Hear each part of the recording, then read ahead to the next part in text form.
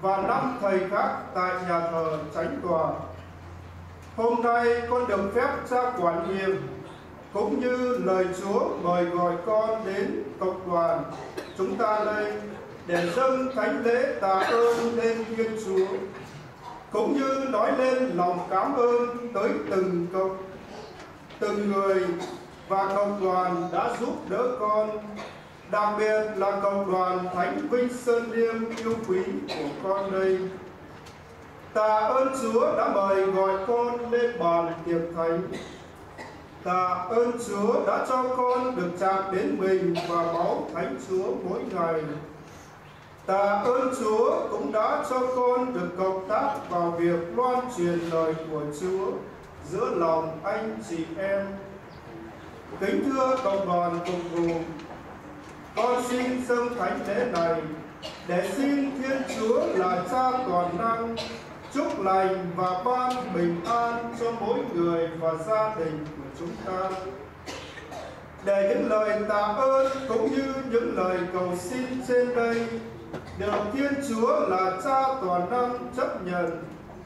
Con xin mời cộng đoàn cùng hiệp ý dân thánh lễ này lên Thiên Chúa cùng với con.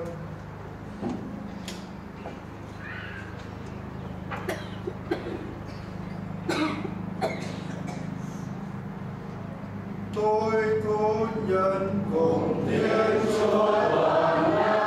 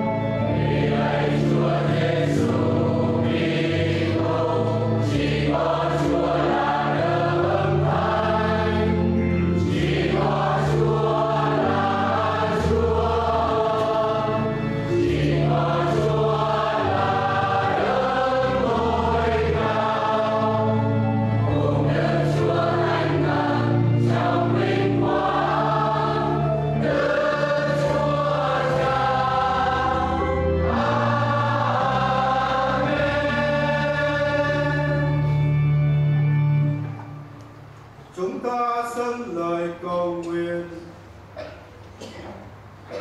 Lạy Chúa, Chúa đã tu con toàn thể lệ luật thanh vào giới răn độc nhất là mến Chúa và yêu người. Xin giúp chúng con hằng vâng giữ điều Chúa truyền dạy, để sau này đạt tới phúc trường sinh.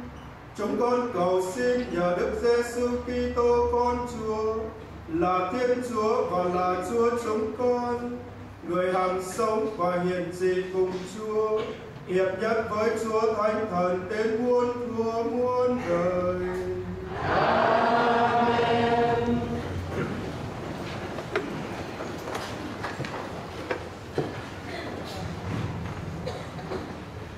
Lời Chúa trong sách khôn ngoan Phường vô đạo lên tiếng nói Ta hãy gài bày hài tên công chính. Vì nó chỉ làm vướng chân ta, nó chống lại các việc ta làm. Trách ta vi phạm lề luật, và tố cáo ta không tuân hành lễ giáo. Ta hãy có những lời nói có thật hay không, và nhìn xem kết cục đời nó sẽ thế nào. Nếu tên công chính là con thiên chúa hẳn người sẽ phù hộ và cứu nó khỏi tay địch thù. Ta hãy hạ nhục và tra tấn nó, để biết nó hiền hòa ra sao, và thử xem nó nhận nhục đến mức nào. Nào, ta kết án cho nó chết nhục nhã, vì cứ như nó nói, nó sẽ được thiên chúa biến thăm đó là lời chúa. ああ。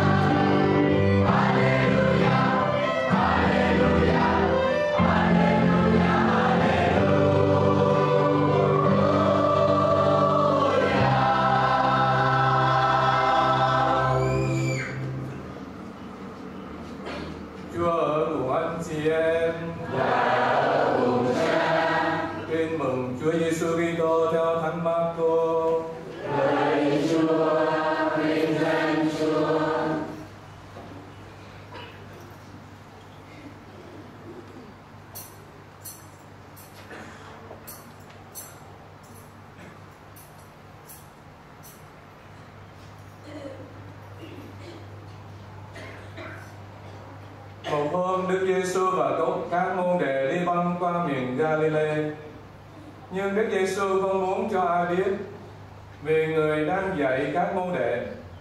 Con người sẽ bị nộp vào tay người đời. Họ sẽ giết chết người. Và ba ngày sau khi bị giết chết, người sẽ sống lại. Nhưng các ông không hiểu lời đó và các ông sợ không dám hỏi lại ngài. Sau đó, Đức Giêsu và các môn đệ đến thành Capernaum khi về tới nhà, Đức Giêsu hỏi các ông: Dọc đường anh em đã bàn tán điều gì vậy? Các ông làm tin vì khi lên đường các ông đã cãi nhau xem ai là người lớn hơn cả. Rồi Đức Giêsu ngồi xuống gọi nhóm 12 lại và nói: Ai muốn làm người đứng đầu thì phải làm người rốt hết và làm người phục vụ mọi người.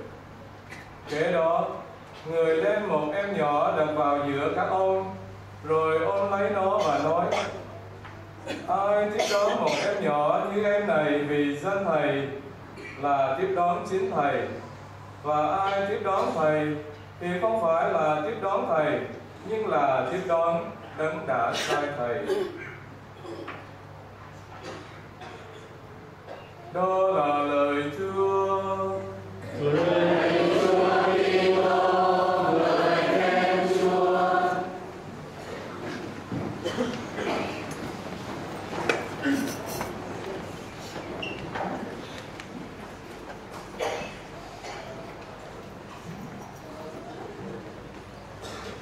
Kính Đức Cha, kính thưa quý cha, quý tu sĩ nam nữ, quý dục sinh, quý ông bà, anh chị em, Đặc biệt, xin kính chào ông bà cố Trần Châu Khê và gia đình và cha mới thân mến.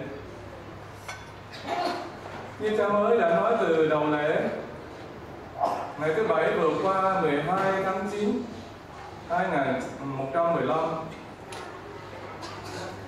tại nhà thờ chính tòa Melbourne chúng ta đã chứng kiến một phép lạ thầy du xe Trần Châu Đông đã được Chúa gọi sức dầu thánh hóa thành linh mục của Chúa. Từ nay sau lễ truyền chức, người anh em của chúng ta, người con này của chúng ta vĩnh viễn là linh mục của Chúa. Cha Trần Châu Đông. Xin hỏi nhỏ anh chị em, chị em có thấy cha đẹp trai không? Nếu anh chị em thấy cha đẹp trai và phát triển cho một tràng vỗ tay để bằng cha.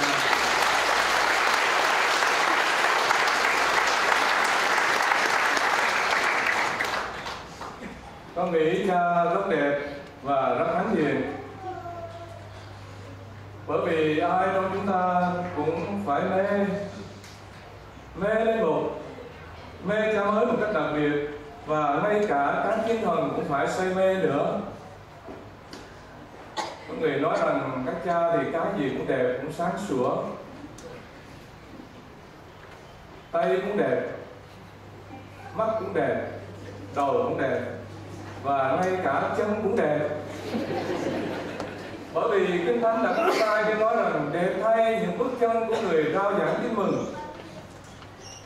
Bởi vì sau thời gian dài trao đổi kiến thức, tu luyện nhân đức, giờ đây cha được thăng quan tiến lên bàn thánh, tế lễ chúa. Phục vụ tha nhân, tiến thân phục vụ rao giảng tin mừng, trong thừa các vụ linh mục. Do đó, ngày lễ trường chức là ngày hồng phúc, là ngày vui vô biên cho tăng linh mục, cho cả gia tộc, cho cộng đoàn sứ đạo, đặc biệt cộng đoàn của chúng ta và chắc chắn toàn thể giáo hội. Linh mục, theo tiếng Latin sacerdos Sashe có nghĩa là thánh. Dos có nghĩa là món quà. Linh mục là món quà thánh mà thiên chúa đã ban tặng cho chúng ta. Và cái việc của chúng ta cũng không kém phần phong phú khi gọi ngài là linh mục. Linh là linh hồn, mục là mục tử, là chăn dắt, là hướng dẫn. Linh mục là người chăn dắt, hướng dẫn các linh hồn. Chúng ta biết biết tích truyền chức là một trong bảy bí tích Chúa Giêsu đã thiết lập trong bữa tiệc ly chiều thứ năm tuần thánh trước khi Ngài ra đi chịu chết để chuộc tội cho nhân loại. Và Ngài mong muốn ơn cứu độ được tái diễn trên bàn thờ qua linh mục. Ngài nói các con hãy làm việc này mà nhớ đến ta. Như thế, linh mục là một thánh chức, một ân gọi bắt nguồn từ Thiên Chúa qua Kinh Thánh. Qua bí tích truyền chức Thiên Chúa đã tuyển chọn một số người để chuyên lo để chuyên lo việc tế lễ Thiên Chúa và chăm lo phần rỗi các linh hồn. Khi nói về linh mục, thiết tưởng không ai nói một cách đơn sơ mà lại thâm thúy cho bằng cha sở họ ạ Thánh Gioan Vianney. Ngài nói, linh mục là đại diện Thiên Chúa, có những quyền phép của Thiên Chúa. Bởi vì khi linh mục tha tội, cho ai ngài không nói, cha chúa tha tội cho con, mà ngài nói rằng ta tha tội cho con. Và lúc truyền phép ngài không nói này là mình chúa này là máu chúa. Nhưng mà ngài nói này là mình ta này là máu ta. Và lạ lùng thay, có thể nói rằng chúa cũng không lời lời của ngài do đó không có phép bí tích truyền chức thì không không có linh mục, thì không có bí tích thánh thể. Cha mới nói đầu lễ hàng ngày con chạm đến mình và máu của Chúa. Nhưng mà hơn nữa hàng ngày con biến đổi con làm rất lạ con làm cho bánh trở thành mình của Chúa và máu trở thành, mà rượu trở thành máu của Chúa. Và vị thánh đã nói rằng anh em không thể nhớ đến một ân huệ nào của Chúa mà lại không có bên cạnh bóng dáng của linh mục. Và ngồi và ngài nói tiếp rằng ôi linh mục ngài là một tên cao trọng ngài là một màu nhiệm và chúng ta chỉ có thể hiểu được linh mục ở trên trời mà thôi. Bởi vì nếu ở dưới đất này mà người ta có thể, thể hiểu được linh mục thì người ta sẽ chết mất chết không phải vì sợ hãi, nhưng mà chết vì yêu mến. Do đó, mặc dù đôi khi chúng ta không hiểu hết các vụ linh mục và con người linh mục, nhưng xin Chúa cho chúng ta yêu mến linh mục, giúp đỡ linh mục, cổ võ ơn gọi linh mục. Vì linh mục là món quà Chúa ban cho mỗi người chúng ta. Và Thánh Teresa hài đồng khi nói về tiên chức linh mục cao cả, ngài đã nói nếu gặp linh mục và thiên thần. Cùng một lúc thì tôi sẽ chào linh mục trước. Vì linh mục là đại diện của thiên chúa, còn thiên thần chỉ là người hầu hạ của thiên chúa mà thôi. Thế nhưng, anh chị em thân mến, cuộc đời linh mục không phải chỉ trải bằng hoa hồng sặc sỡ, không dừng lại những phút vui tưng bừng huy hoàng, mà phải trải qua một lộ trình đầy trông gai và quanh co Tiết mục là một màu nhiệm và là một nghịch lý. Là có người mỏng giòn yếu đuối Nhưng linh mục lại mang nhiệm vụ cao cả Làm trung gian giữa Thiên Chúa và loài người. Như lời Thánh Phaolô nói Chúng tôi mang trong mình chúng tôi như kho tàng chứa đựng trong bình sạch Linh mục biết mình nhỏ bé yếu đuối Nên các ngài cần có sự nâng đỡ của chúng ta. Ngài không có quyền lực chính trị, quân sự, kinh tế gì cả. Tuy nhiên, Ngài lại hùng dũng kiên cường và sức mạnh vô song của Ngài đó là từ bỏ chính mình, tự hiến chính mình vì Đức Kitô như lời Thánh Phaolô nói: khi tôi yếu là khi tôi mạnh mẽ. Tôi có thể làm được mọi sự trong đứng ban sức mạnh cho tôi. Vì sức mạnh của tôi là thập giá của Đức Kitô. Linh mục là Ante Christus có nghĩa là một Kitô khác, một Kitô thứ hai theo như lời của Đức Giáo Hoàng Pio thứ 12. Thành thử linh mục không thể tránh khỏi con đường mà thầy chí thánh Kitô đã đi qua, đó là phải vác thập giá mỗi ngày. Bà cố Margarita tâm mộ của Thánh Don Bosco trong ngày lễ mở tay đến nhìn chăm chăm con mình một cách say mê. Bà vui mừng con tả vì con mình nay đã trở thành linh mục của Chúa.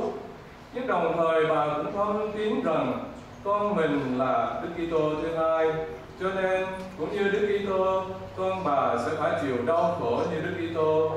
Vì thế bà nói với con, con ơi, bắt đầu làm lễ là bắt đầu chịu đau khổ đó. Hơn ai hết, bà biết rằng tiến đến chức linh mục đã là khó, nhưng sống trọn vẹn chức linh mục thì lại càng khó khăn hơn. Vì linh mục được kêu mời để phục vụ chứ không phải để được phục vụ như lời Đức Kitô đã nói. Một cha già người Pháp kể một câu chuyện dí dỏm nhưng rất thâm thúy diễn tả thân phận và sứ vụ của linh mục như sau. Trên một chuyến tàu lửa, có một linh mục ngồi bên cạnh một phụ nữ đang bồng đứa con nhỏ. Đứa bé cứ khóc hoài, bà mẹ dỗ không nín. Bà chỉ vào ông cha mặc áo trùng đen ngồi bên và nói nếu mày không nín thì ông cha này sẽ bắt mày đó. Đứa bé cũng không chịu nín. Bà lấy chiếc bánh trong túi xách ra và đưa cho anh bé ăn. Nó không chịu ăn và nó vẫn khóc. Thế bà mẹ liền nói nếu mày không ăn thì ông cha này ông sẽ ăn hết cho coi. Đứa bé vẫn không chịu ăn và tiếp tục khóc bà liền lấy bình sữa ra, xin lỗi chính ra là bà cha nói rằng bà vạch áo ra cho em bé bú. Đứa bé lắc đầu lia lịa. Bà mẹ tức quá mới nói rằng, nếu mày không chịu bú thì ông cha này sẽ dứt hết trong ngàn đứa bé vẫn không nghe. Ngồi lâu trên xe, bà muốn đi vệ sinh, đi toilet. Không biết giao đứa bé cho ai, bà đành nhờ ông cha giữ dùng tự nhiên đứa bé thôi khóc và ngủ một cách, một cách ngon lành trong tay ông cha. Thưa quý ông bạn chị em chị em thấy không? Linh mục là người có đủ mọi thứ là nạn nhân của đủ mọi thứ là ông ngáo hộp để dọa người khác là người bị coi là tham lam mê ăn mê uống tham tiền tham tình. Và khi hữu sự thì người ta đều đến nhờ ông cha mà không cần phải sợ mang ơn nghĩa gì cả trong khi thi hành chức vụ, linh mục phải dấn thân vào đời, len lỏi với đời, nhưng đồng thời ngài cũng phải sống thật là thiêu sót ờ, siêu thoát. Mọi người, già, trẻ, lớn bé, thứ dân, quyền thế, giàu nghèo đều có thể đến với ngài.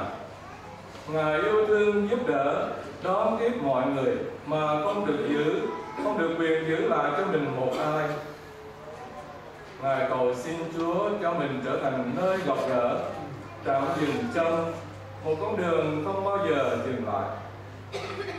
Thế rồi cuối cùng khi đời chiều xế bóng, ngài chấp nhận mình là người cô đơn đi giữa đám đông. Cho đến ngày tận thế, linh mục vẫn là một huyền nhiệm, một bài toán khó giải, một câu chuyện bỏ ngỏ và một mâu thuẫn triền miên cả đời linh mục phải chiến đấu để dung hòa giữa thân phận và bổn phận. Ngài vẫn luôn giữ thêm quân bình, làm sao để đem chúa đến cho mọi người và đem mọi người về với chúa? Nếu ngài vui tính cởi mở, thì sẽ cho bị bị cho là phóng khoáng ờ, quá buông thả. Nếu ngài nghiêm nghị, ít nói, sẽ bị cho là tra già khó tính thất dịch xa cách nếu ngài bình dị xề xòa sẽ bị coi là thiếu tác phong. Nếu người thường nếu ngài thường xuyên đi thăm non người nghèo thì lại bị coi bị coi là thiên tả nếu giao du với người giàu có thì bị cho là coi thường bỏ rơi người nghèo. Trên tòa giảng nếu ngài giảng ngắn thì bị cho là lười biếng, không lo soạn giảng để dạy giáo dân. Và khi thao thao bất tuyệt thì bị cho là khoa trương dẫn dai dẫn dài vân vân. Quả vậy, linh mục luôn sống trong sự mâu thuẫn, ở sao cho vừa lòng người, ở động người cười, ở hẹp người chê. Tạ ơn Chúa vẫn có nhiều tâm hồn quảng đại, hiểu biết và thông cảm với linh mục. Có nhiều ông cụ bà cụ thương các cha thì nói, chúng con thương các cha lắm các cha không làm nhiều thì bảo là làm biến các cha có làm thì họ bảo là làm nghe. Do vậy, đức bộ phải giữ thế trung dung trong mọi hoàn cảnh để giữ, để những mâu thuẫn thách đố của cuộc đời. Các ngài có thể thắng vượt được tất cả để tiếp tục yêu mến, tôn thờ và phục vụ theo gương Đức Kitô. Trở nên mọi sự cho mọi người. Chào thánh đức cha quý cha, quý tu sĩ nam nữ, quý chúng sinh quý ông bà, quý ông bà và anh chị em. Nhân ngày vui của cha mới hôm nay, chúng ta có dịp suy nghĩ, chấm phá về thiên chức linh mục. Linh mục là một quyền nhiệm là một ân huệ chúa ban. Linh mục rất rất cao quý, nhưng cũng rất mỏng giòn cho nên cần sự nâng đỡ của chúng ta. Ta hãy cầu nguyện cho linh mục. Ta hãy nâng đỡ các ngài, bởi vì các ngài cũng là phần tử của gia đình, của cộng đoàn chúng ta là anh em của chúng ta. Hãy cổ võ ơn gọi linh mục. Hãy cầu nguyện cho ơn thiên triều linh mục và tu sĩ qua những lời cầu nguyện và đi sinh hàng ngày. Như đức thánh cha vẫn cổ võ, hãy cầu nguyện cho ơn gọi, bởi vì ơn gọi đến từ lời cầu nguyện. Nhân cơ hội này, tôi xin gửi một lời nhắn ngắn gọn đến với anh chị em thanh thiếu niên. Hãy cầu nguyện để Thiên Chúa ban cho các bạn ơn gọi làm linh mục và làm tu sĩ. Vì ơn gọi linh mục và làm tu sĩ cao quý lắm. Hãy cầu nguyện mỗi ngày. Xin Chúa kêu gọi uh, các bạn ban cho các bạn ơn gọi làm linh mục của Chúa và làm tu sĩ nam nữ phục vụ Chúa và giáo hội. Bởi vì Chúa đã nói rằng lúa chín đầy đồng và thợ gặt thì ít. Các con hãy xin chủ uh, ờ, ruộng sai trở gặp đến gặp đồng lúa của ngài. Hôm nay là ngày vui chung của tất cả chúng ta, bởi vì mỗi lần có lễ phong chức là mỗi lần chúng ta tạ ơn Chúa vì Chúa đã ban cho chúng ta có linh mục để cử hành các bí tích, xây dựng hội thánh tại nước trời ngay tại trần thế. Và mỗi lần tham dự thánh lễ phong chức là mỗi lần chúng ta cảm nghiệm được sự trưởng thành trong đức tin của cộng đoàn công giáo Việt Nam của chúng ta tại Úc Châu nói chung và tại Melbourne nói riêng bởi vì sau hơn 30 năm được ơn Chúa vun trồng, tưới gọi cây đức tin của anh chị em cây đức tin của chúng ta đã sinh hoa kết trái, đó là ơn gọi các linh mục và tu sĩ.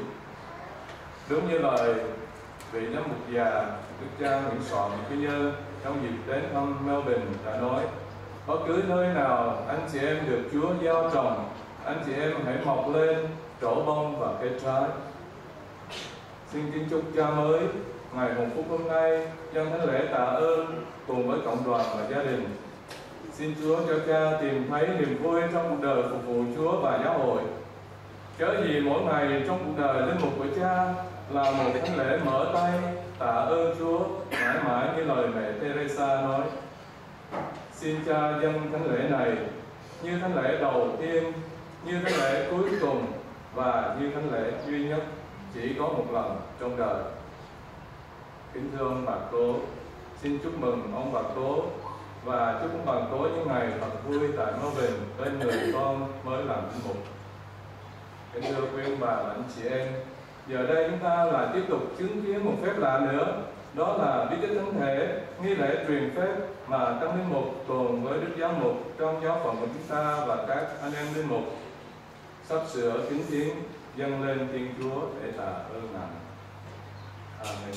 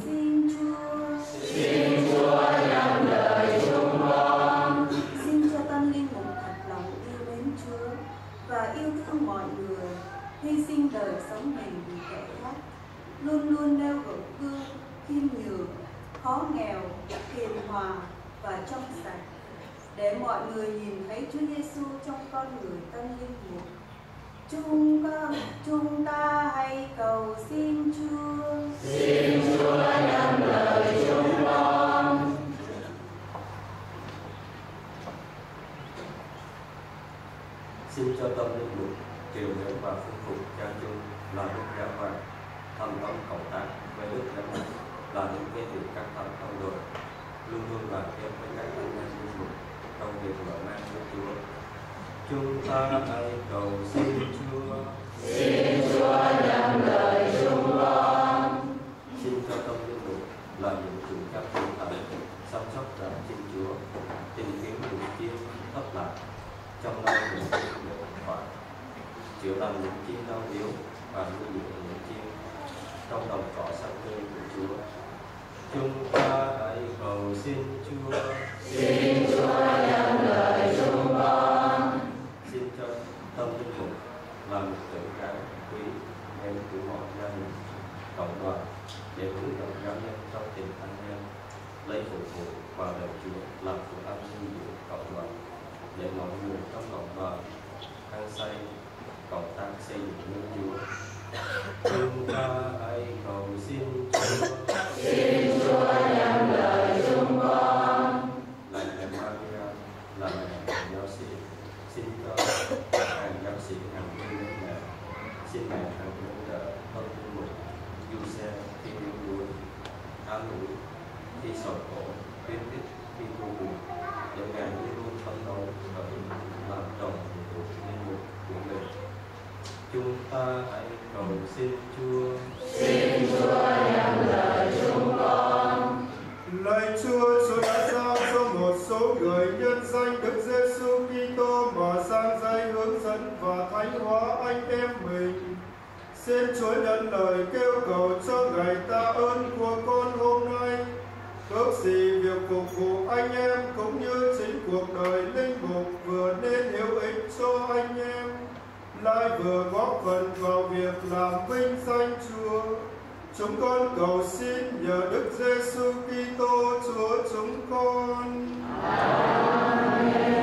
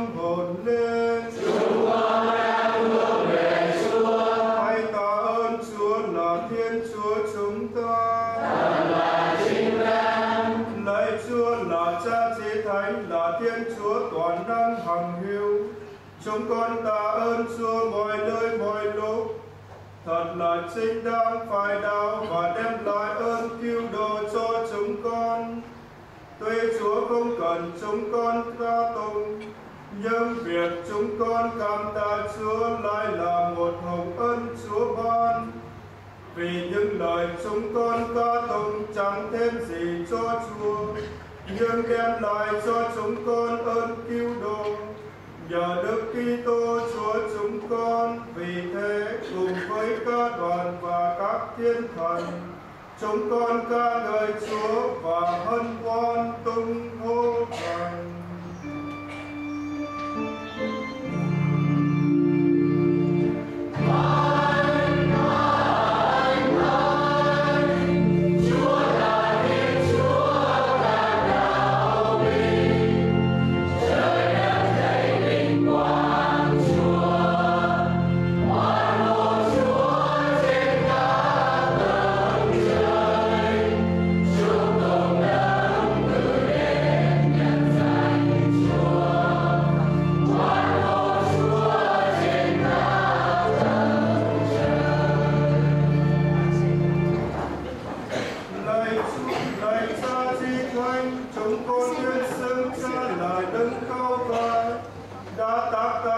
sự theo thánh trí và tình thương.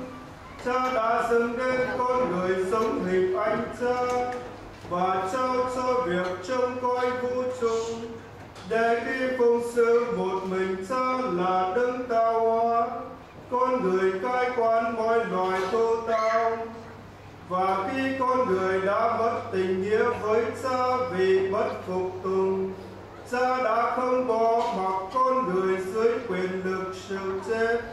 Thật vậy, cha đã thương cứu giúp mọi người, để những ai tìm cha đều gặp cha. Hơn nữa, nhiều lần cha đã giao ước với loài người và dùng các tiên tri mà rơi dỗ loài người đợi chờ ơn cứu độ. Lạy cha chi thành, cha yêu thương thế gian, đến đôi khi tới thời viên mãn, cha đã sai con một đến làm đấng cứu độ chúng con. Bởi phép Chúa Thánh Thần, người đã nhập thế và được Đức Trinh Nữ Maria sinh ra, đã sống tròn thân phận con người của chúng con ngoại trừ tội lỗi để loan báo tin mừng ơn cứu độ cho người nghèo khó sự giải thoát cho kẻ bị giam cầm, niềm hân hoan cho người sầu khổ trong tâm hồn. Để chu toàn ý định của cha, người đã nộp mình chịu chết và từ cõi chết sống lại. Người hủy diệt sự chết và cách tân sự sống lại. Và để chúng con không còn sống cho chính mình nữa mà sống cho đấng đã chết và sống lại vì chúng con, thì lạy cha từ nơi xa, người đã sai chúa thánh thần như ân huệ khởi đầu đến với các tín hữu để Chúa Thánh Thần kiên toàn công trình của người nơi trần gian và hoàn tất công việc thánh hóa. Vì vậy, lạy Chúa, chúng con lại xin Chúa, xin Chúa Thánh Thần thương thánh hóa những của lễ này để trở nên mình và mau được Giêsu Kitô Chúa chúng con. Hầu chúng con cử hành vào nhiệm cao cả mà chính người đã trôi lại cho chúng con khi giao ước muôn lời. Lạy cha chi thánh khi đến giờ người cha tôn vinh, và yêu thương những kẻ thuộc về mình còn ở trần gian, người đã yêu thương họ đến cùng, nên trong bữa ăn tối, người cầm lấy bánh, dâng lời chúc tụng Bề ra và trao cho các môn đệ mà nói. Tất cả các con hãy nhận lấy mà ăn, vì này là mình thầy sẽ bị nộp vì các con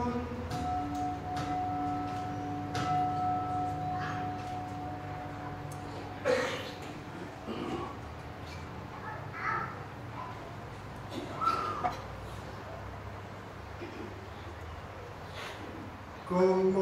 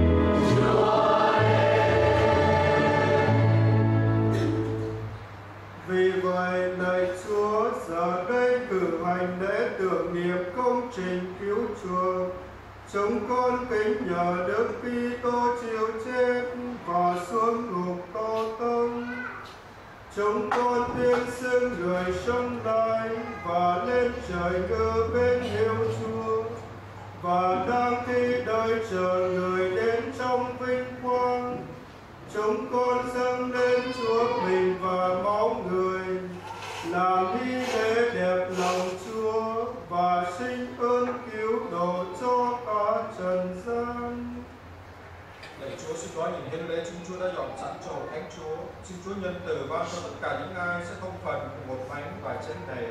Được Chúa Thánh Thần quy tụ tất cả thành một thân thể, trở nên một hiến lễ sống động trong Đức Kitô để ca tụng vinh quang Chúa.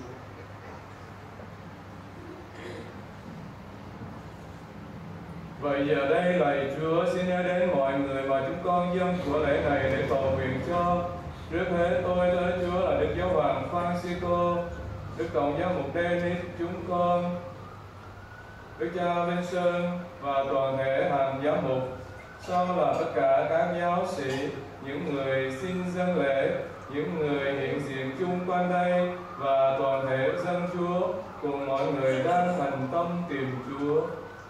Xin Chúa cũng nhớ đến những người đã qua đời trong bình an của Đức Kitô, đặc biệt các bậc cô thiên, ông bà, cha mẹ và thân bản quyền của chúa con cùng tất cả mọi người qua thu mà chỉ một mình Chúa biết lòng khi của họ.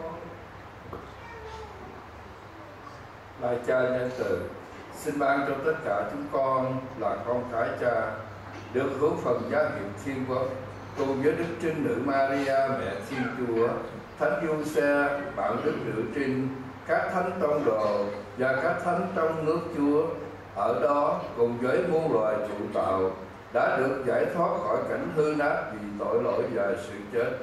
Chúng con được tôn vinh cha, nhờ đức Kitô Chúa chúng con, nhờ người cha rộng ban mọi ơn lành cho thế gian.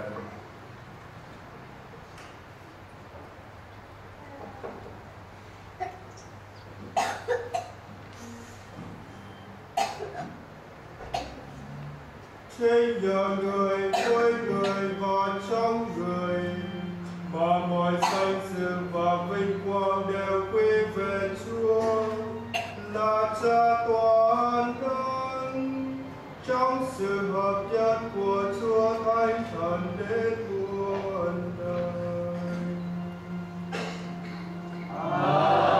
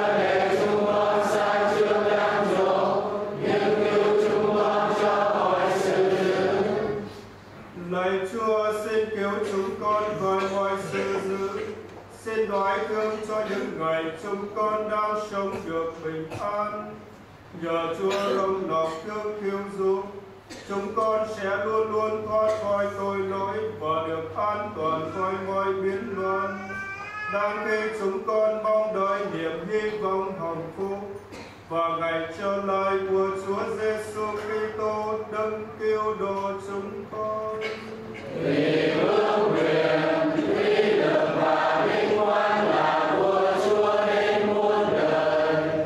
Lạy Chúa Giêsu Kitô, Chúa đã nói với các tông đồ rằng Thầy đưa lại bình an cho các con, Thầy ban bình an của Thầy cho các con. Xin đừng cho tội chúng con, nhưng xin nhìn đến đức tin của hội thánh Chúa. Xin đoái thương ban cho hội thánh được bình an và hợp nhất theo thánh ý Chúa. Chúa hằng sống và hiển trị muôn đời. Amen. Bình an của Chúa hằng ở cùng anh chị em. cùng cha. Anh chị em chúng ta hãy chúc bình an cho nhau.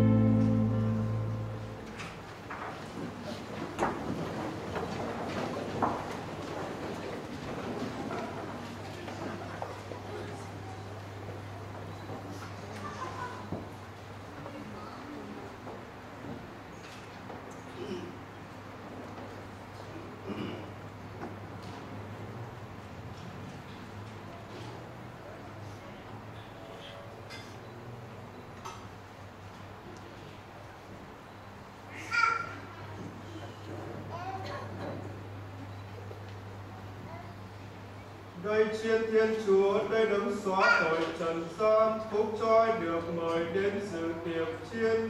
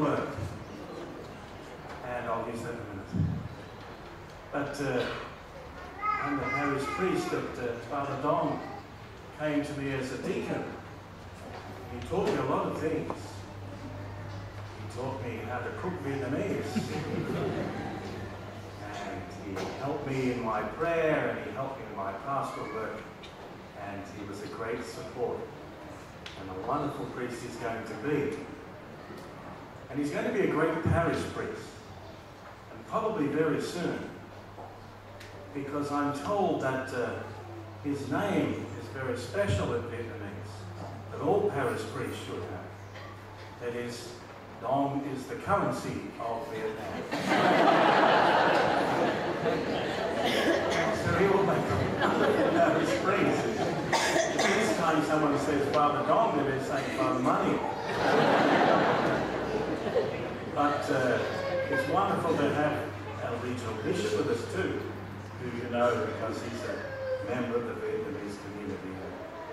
great sign of spirit for us. And also to have Dong's parents and his uncle, very special people. I'm sure uh, you know that they're very proud of their son, and uh, just as you are as the Vietnamese community. So I welcome you on behalf of the Australian priests, and we're one brotherhood. And it doesn't matter where we're born, uh, we share the faith together. So congratulations, and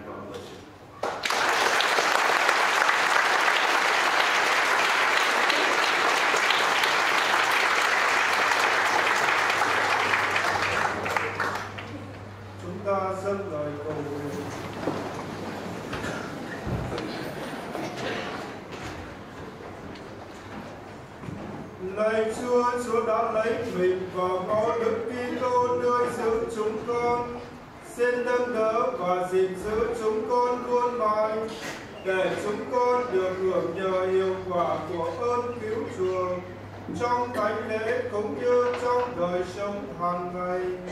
Chúng con cầu xin nhờ Đức Kitô Chúa chúng con. Con xin kính mời Đức Cha và Đức Cha an toàn xin mời cộng đoàn ngồi. Niềm vui nối tiếp niềm vui thưa Đức Cha, Đức Cha, quý nam nữ tu sĩ cùng cộng đoàn rất thân mến. Có lẽ niềm vui đã được nhân đôi khi hôm nay chúng ta đã lại cùng nhau quy tụ về nơi đây để cùng với tân linh mục dâng lên Thiên Chúa những tâm tình tạ ơn. À, quả thực là niềm vui đã được dâng lên gấp bội khi đi đến đâu cũng thấy mọi người chia sẻ với nhau về một sự kiện trọng đại đã diễn ra vào ngày thứ bảy vừa qua tại nhà thờ chính tòa Melbourne.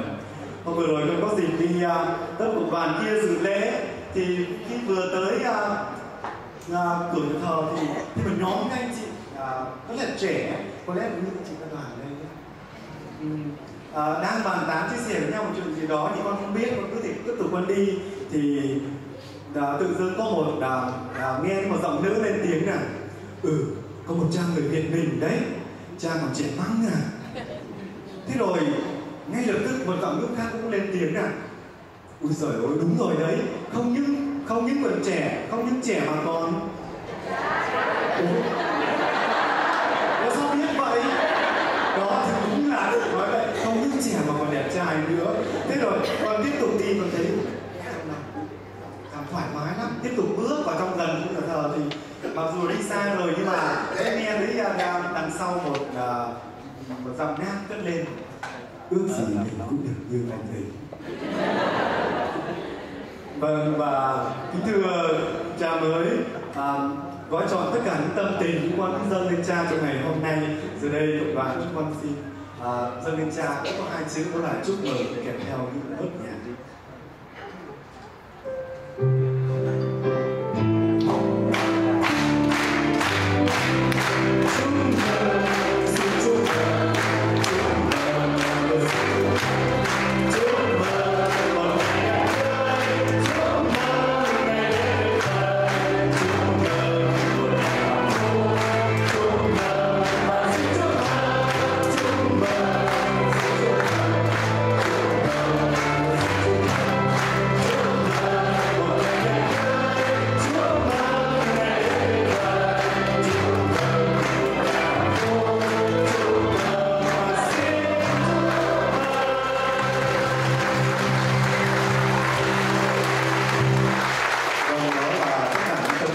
con với con cảm đang chúc chúc mừng với cha. Và tại đây con xin trân trọng giới thiệu một vị đại diện cho cộng đoàn những cái sân liên đây có đôi lời chúc mừng với tân linh mục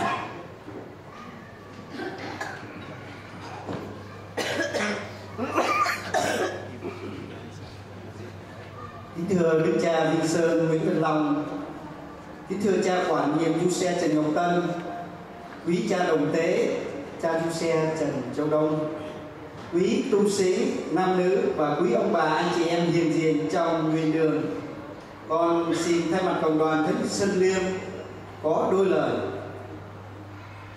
Trước hết, cộng đoàn chúng con hân hoan chào đón và chân thành cảm ơn đức cha, quý cha, quý tu sĩ, quý khách đã đến thăm và hiệp dân thánh lễ tạ ơn của tân linh linh mục với cộng đoàn chúng con xin cộng đoàn chúng ta bày tỏ tâm tình này với một tràng pháo tay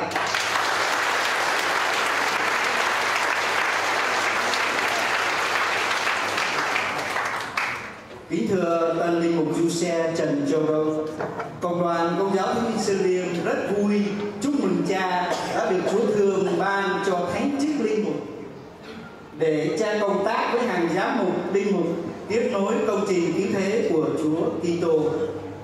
Đây là một niềm vui và một vinh dự rất lớn không những cho tổng giáo phận Melbourne, cho gia đình cha mà còn cho cả cộng đồng công giáo Việt Nam tại Úc Châu. Quả là một ngày trọng đại và tràn đầy hồng ân của Chúa. Cảm tạ Chúa, chúng con có một thánh lễ tạ ơn mừng tân linh mục thật sốt sắng và vui tươi. Ước gì niềm vui Chúa ban đồng lại mãi trong tâm hồn, để mỗi người chúng con ý thức cầu nguyện cho giáo hội, có thêm nhiều người thợ, lành nghề và làm việc trong vườn nho của Chúa. Và cũng xin được tiếp tục cầu nguyện cho tân linh mục được trung thành cho đến cùng trong sứ vụ linh mục. Nguyện xin thiên chúa, mẹ maria và thánh cả giuse luôn đồng hành phù trợ và dẫn dắt để tân linh mục trung toàn sứ vụ mục tử mà chúa trao phó.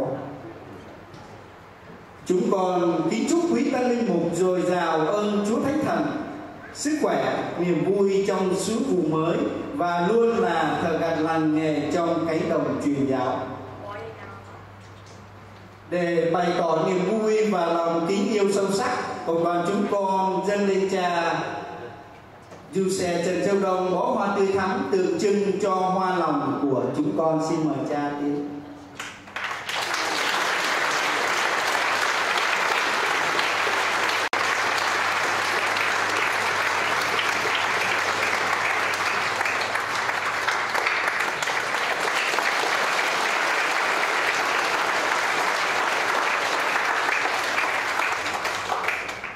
và công đoàn chúng con cũng xin được chúc mừng ông bà cố các linh mục và gia tộc có một người con ưu tú được Chúa chọn làm thương phẩm đời đời. À, xin cảm ơn anh chị em trong ca đoàn Cecilia đã dày công tập luyện để dâng lời ca tiếng hát ngợi khen và tạ ơn Chúa và lát nữa đây lại có một chương trình văn nghệ phục vụ mọi người trong tiệc uh, tạ ơn tối nay xin chân thành cảm ơn rất nhiều.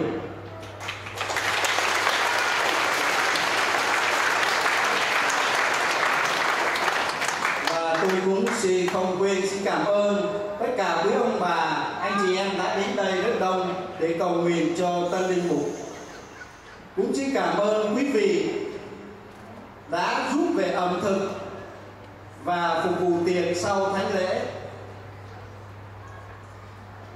Trong niềm vui này con cũng xin kính chúc đức cha quý tu sĩ quý khách và toàn thể quý ông bà anh chị em luôn mạnh khỏe bình an và tràn ngập niềm vui trong cuộc sống.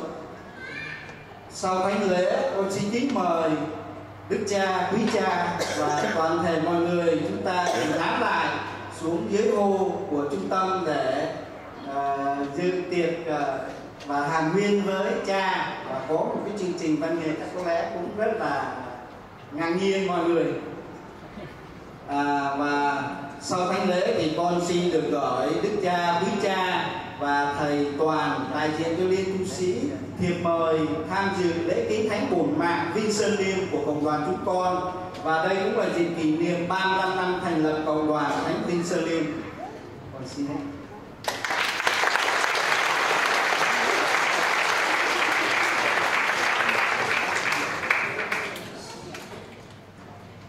Dạ vâng, giờ đây con xin mời một số chúng ta à, xin một số chúng lễ xin mời à, các anh chị chúng ta chân hoa xin mời.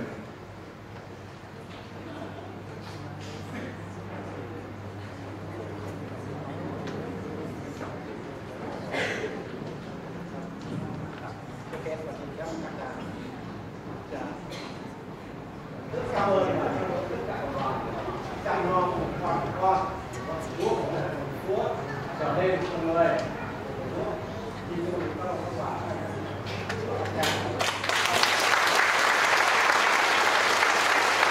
À, vâng, à, xin mời Duy Khải, Duy Án ra, à, Duy Minh, Duy Khải cây hoa cho cho tân linh mục, sau đó tân linh mục sẽ trao những bó hoa này cho vợ cố ạ.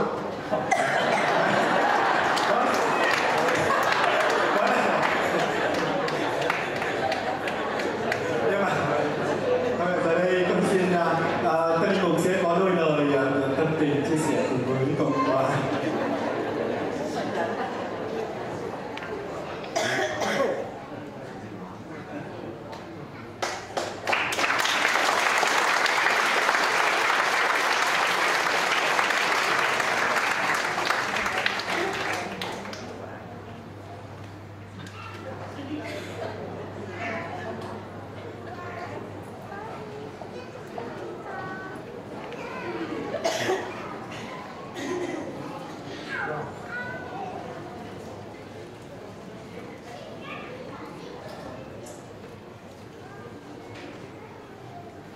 niềm vui này nối tiếp niềm vui kia.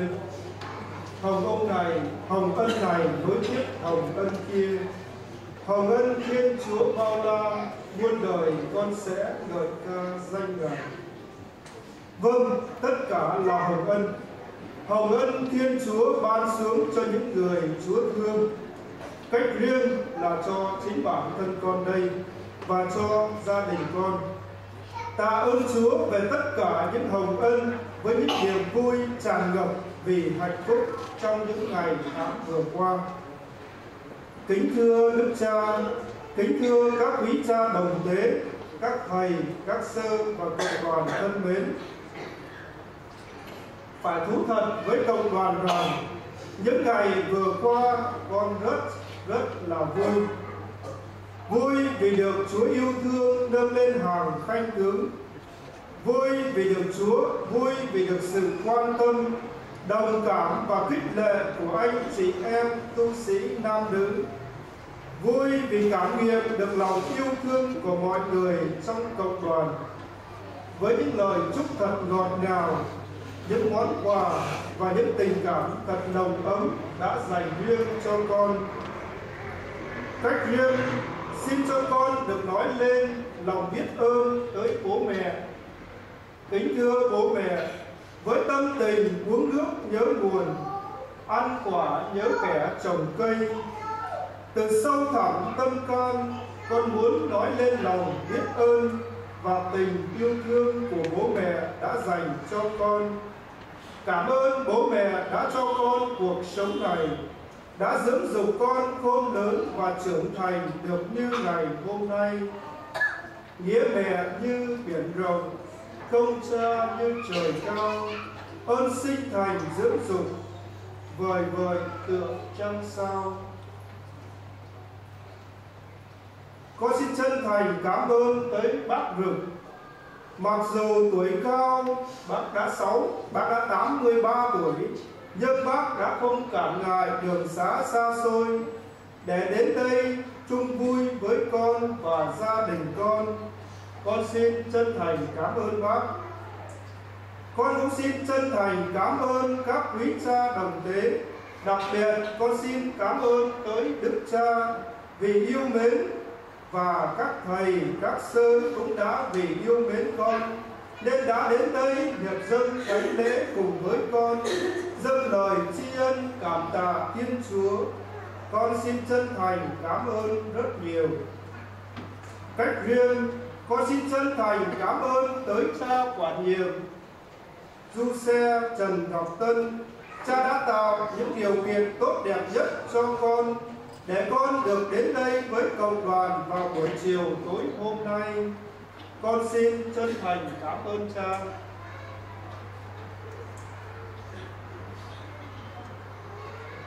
Kính thưa cộng đoàn, cộng đoàn có thấy bài chia sẻ của cha Nguyễn Công Trứ hôm nay có hay và ý nghĩa không ạ?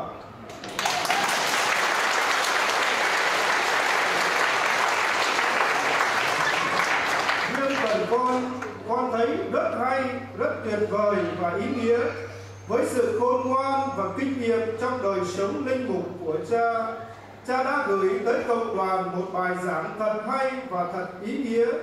Cách riêng đã cho con những lời giáo huấn thật ý nghĩa và đã giúp con hiểu rõ hơn về ý nghĩa đời sống của một linh mục.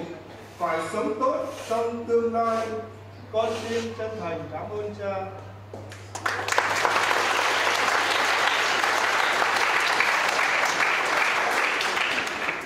Thánh Augustino có lời, có câu nói thật bất hủ hát là cầu nguyện hai lần. Vâng đúng vậy, con xin chân, em xin chân thành cảm ơn tới anh hậu.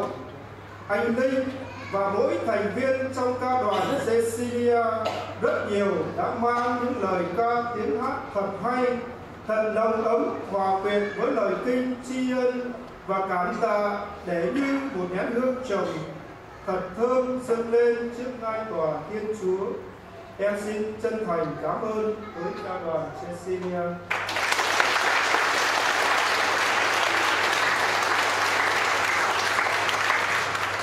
Kính thưa cộng đoàn, quả là một sự rất thiếu sót nếu không nhớ đến lời cảm ơn, nếu không nhớ đến để cảm ơn tới quý ban hậu cần, các bác, các cô, các chị và các anh với sự quan tâm yêu thương và giúp đỡ cả về vật chất lẫn thời gian. Để rồi đã đem đến cho chúng ta những món ăn thật ngon, thật khoái khẩu. Con xin khắc ghi và biết ơn rất nhiều tới từng người trong ban ẩm thực con xin chân thành cảm ơn.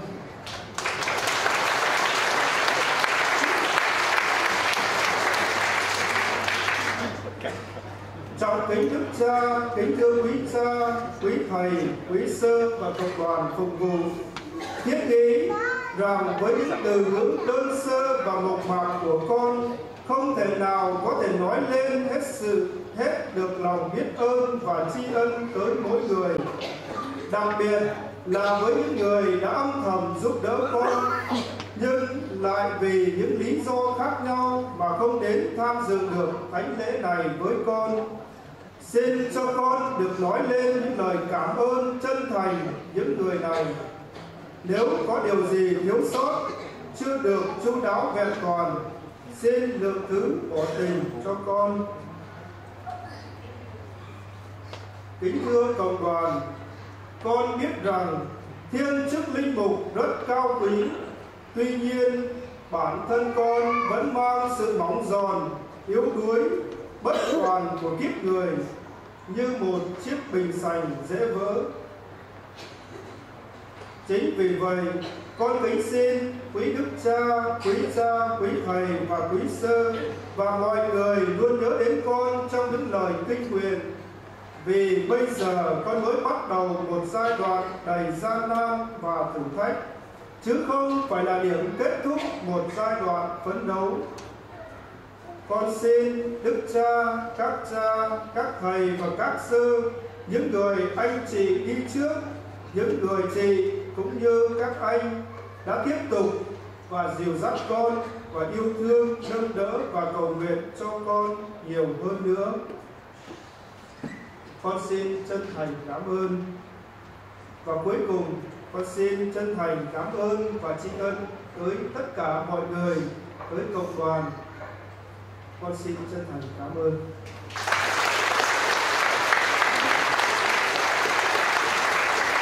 À, trước khi à, trao cảm nhận chúng ta có đôi lời với cộng đoàn thì cũng xin được à, nhất là sau thánh lễ xin mời đức cha với đức cha chúng ta cùng xếp hàng trước à, à bàn thờ chụp một tấm hình lưu niệm với cộng đoàn. Và sau đó tân linh mục sẽ quay trở lại à, trước gian thánh đây để cho những ai muốn nhận à, những phép lành đầu tay của tân linh mục Kính thưa Đức Cha, quý cha cùng toàn thể quý ông bà anh chị em.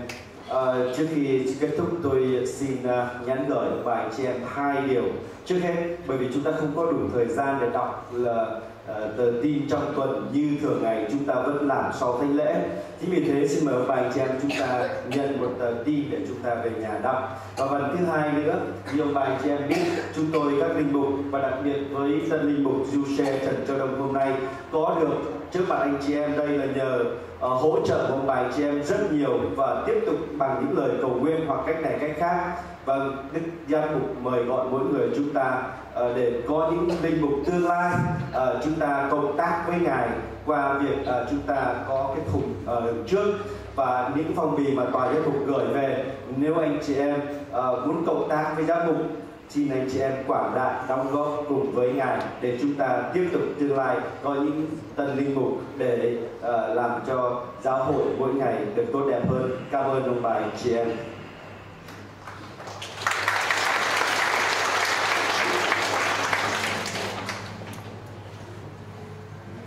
xin cộng đoàn chúng ta đứng